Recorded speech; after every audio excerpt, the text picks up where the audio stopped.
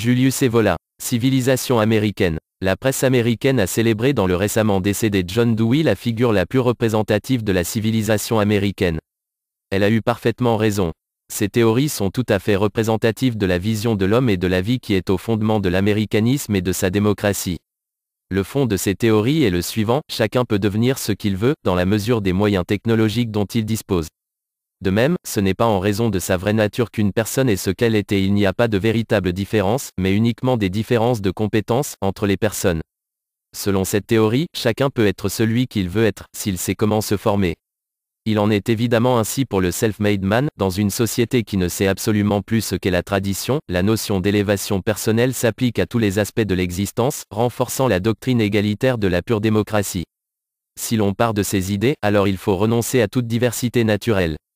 Chaque personne peut supposer qu'elle possède les aptitudes de n'importe qui d'autre et les termes de supérieur et d'inférieur perdent leur sens, tous les modes de vie sont accessibles à tous. À toutes les conceptions organiques de la vie les Américains opposent une conception mécanique. Dans une société qui est partie de zéro, tout est caractérisé par l'invention pure et simple. Dans la société américaine, les apparences sont des masques et non des visages. En même temps, les adeptes du mode de vie américain sont hostiles à la personnalité. L'ouverture d'esprit des Américains, qui est parfois citée en leur faveur, est l'autre face de leur absence de forme intérieure.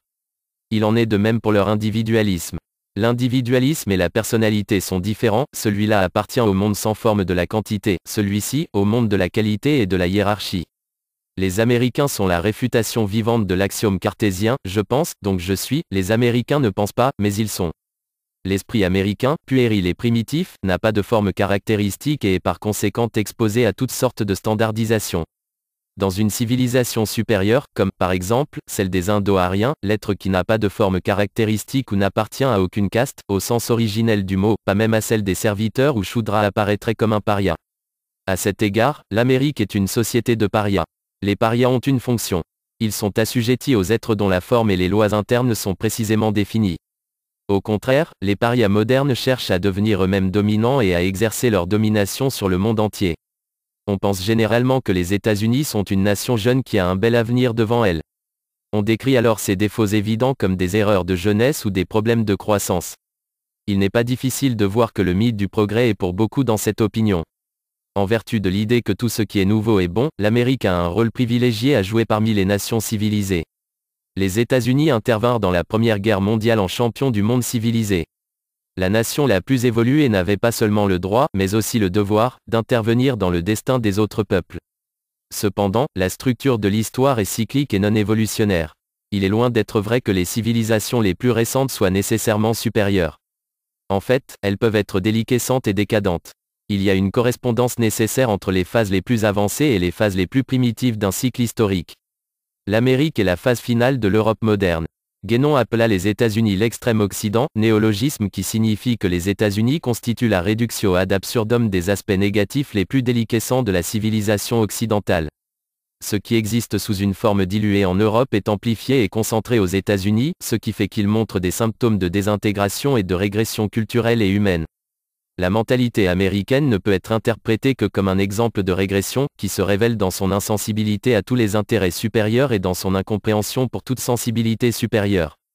L'esprit américain est étroit, limité à tout ce qui est immédiat et simpliste, en conséquence de quoi tout devient inéluctablement banal et grossier, tout est nivelé et, en fin de compte, privé de vie spirituelle. La vie elle-même, d'un point de vue américain, est entièrement mécanique. Le sentiment du moi en Amérique appartient entièrement au plan physique de l'existence. L'Américain typique ne sait pas ce que sont les dilemmes spirituels, ni les complications, c'est un suiveur et un conformiste né. Ce n'est qu'en apparence que l'esprit primitif américain peut être comparé à un esprit jeune. L'esprit américain est un trait de la société régressive dont nous avons déjà parlé. Moralité américaine. Le sexapile tant vanté des femmes américaines trouve sa source dans les films, les magazines et les photos de pin-up et, en grande partie, fictif. Une enquête médicale récemment faite aux États-Unis a montré que 75% des jeunes femmes américaines n'ont pas de grands besoins sexuels et que, au lieu de satisfaire leur libido, elles cherchent à obtenir du plaisir narcissiquement, par l'exhibitionnisme, la vanité et un culte stérile de la culture physique et de la santé. Les filles américaines n'ont pas de complexe sexuel, elles sont faciles à vivre pour l'homme qui voit tout le processus sexuel comme quelque chose d'isolé et le rend ainsi inintéressant et prosaïque, ce qu'il est effectivement censé être à ce niveau. Ainsi, après avoir été emmenée au cinéma ou danser, la fille, conformément aux usages de la société américaine, se laisse embrasser, ce qui ne signifie rien. Les femmes américaines sont généralement frigides et matérialistes. L'homme qui sait s'y prendre avec une fille américaine a des obligations matérielles envers elle. La femme lui a accordé une faveur matérielle. Dans les cas de divorce, la loi américaine favorise beaucoup la femme. Les femmes américaines divorcent volontiers lorsqu'elles trouvent un meilleur parti. En Amérique, il est fréquent qu'une femme mariée soit déjà fiancée à un futur mari, l'homme qu'elle a l'intention d'épouser après un divorce lucratif. Nos médias américains. L'américanisation en Europe est généralisée et évidente. En Italie, c'est un phénomène qui se développe rapidement dans ces années d'après-guerre et est considéré par la plupart des gens, sinon avec enthousiasme, du moins comme quelque chose de naturel. Il y a quelque temps, j'ai écrit que, des deux plus grands dangers auxquels est confrontée l'Europe, l'américanisme et le communisme, c'est le premier qui est le plus insidieux le communisme ne constitue un danger que sous la forme brutale et catastrophique d'une prise de pouvoir directe par les communistes. En revanche, l'américanisation gagne du terrain par un processus d'infiltration graduelle, faisant subir aux mentalités et aux mœurs des changements qui semblent inoffensifs en eux-mêmes, mais qui finissent par causer une déformation et une dégradation fondamentale qu'il est impossible de combattre autrement qu'intérieurement. C'est justement par rapport à cette opposition intérieure que la plupart des Italiens semblent faibles. Oubliant leur propre héritage culturel, ils se tournent volontiers vers les États-Unis comme s'il était le chef de famille du monde. Celui qui veut être moderne doit s'évaluer selon les critères américains. Il est pitoyable de voir un pays européen s'avilir de cette manière. La vénération de l'Amérique n'a rien à voir avec un intérêt culturel pour le mode de vie des autres peuples. Au contraire, la servilité envers les États-Unis laisse à penser qu'il n'y a aucun autre mode de vie digne d'être comparé à celui de l'Amérique. Notre service de radio est américanisé. Sans aucun critère pour déterminer ce qui est supérieur et ce qui est inférieur, il ne fait que suivre les thèmes à la mode et vendre ce qui est considéré comme acceptable, acceptable pour la partie la plus américanisée, c'est-à-dire la plus dégénérée, du public. Les autres sont entraînés dans son sillage. Même la façon de présenter les programmes radio s'est américanisée. Qui, après avoir écouté une émission de radio américaine, peut réprimer un frisson, lorsqu'il se rend compte que le seul moyen d'échapper au communisme est de s'américaniser? Ces mots ne sont pas ceux d'un étranger, mais d'un sociologue américain, James Burnham, professeur à l'université de Princeton. Le fait que ce jugement soit porté par un Américain devrait faire rougir de honte les programmeurs de la radio italienne. La conséquence de la démocratie du fait ce qui vous plaît est l'intoxication de la plus grande partie de la population, qui accepte n'importe quoi et qui, quand elle n'est pas guidée par une force et un idéal, perd trop facilement tout sens de sa propre identité.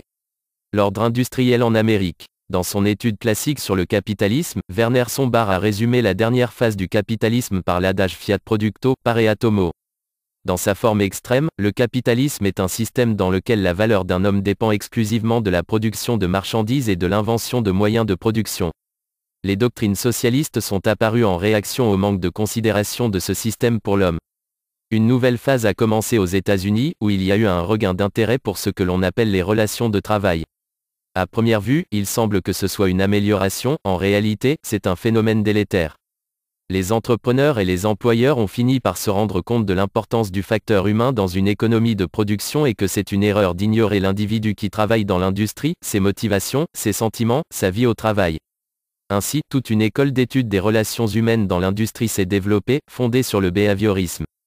Des études comme Relations humaines dans l'Institut de Gardner et Moore ont fourni une analyse minutieuse du comportement des employés et de leur motivation dans le but précis de définir les meilleurs moyens pour prévenir tous les facteurs qui peuvent entraver la maximisation de la production. Certaines études n'ont certainement pas été réalisées auprès des ouvriers, mais auprès de la direction, soutenues par des spécialistes de différentes écoles. Les enquêtes sociologiques vont jusqu'à analyser le milieu social des employés. Ce genre d'étude a un objectif pratique, le maintien de la satisfaction psychologique de l'employé est aussi important que celui de sa satisfaction physique.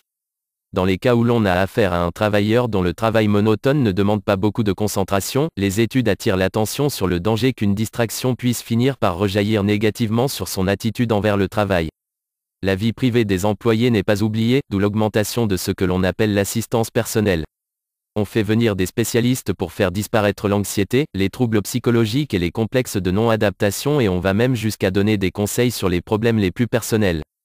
C'est là une technique clairement psychanalytique et l'une des plus utilisées est de laisser parler librement le sujet et de mettre en relief les résultats obtenus par cette catharsis. Rien de tout cela ne concerne l'amélioration spirituelle des êtres humains ou les vrais problèmes humains, tels qu'un Européen les comprendrait dans cet âge de l'économie. De l'autre côté du rideau de fer, l'homme est traité comme une bête de somme et maintenu dans l'obéissance par la terreur et la famine. Aux États-Unis, l'homme est considéré uniquement comme un travailleur et un consommateur, aucun aspect de sa vie intérieure n'est négligé et chaque élément de son existence tend vers le même but. Au pays de la liberté, par tous les moyens, on dit à l'homme qu'il a atteint un bonheur inespéré jusqu'ici. Il oublie qui il est, d'où il est venu et jouit du présent. La démocratie américaine dans l'industrie. Il y a aux États-Unis une divergence significative et grandissante entre les valeurs de l'idéologie politique dominante et les véritables structures économiques de la nation. Une grande partie des études sur le sujet portent sur la morphologie du travail. Les études corroborent l'impression que l'entreprise américaine est très loin du type d'organisation qui correspond à l'idéal démocratique de la propagande américaine. Les entreprises américaines ont une structure pyramidale. Elles constituent, à leur sommet, une hiérarchie articulée.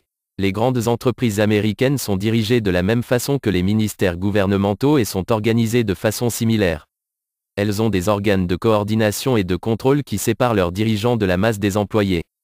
Plutôt que de devenir plus flexible dans un sens social, la classe des organisateurs devient plus autocratique que jamais, ce qui n'est pas sans rapport avec la politique étrangère américaine. C'est la fin d'une illusion américaine de plus.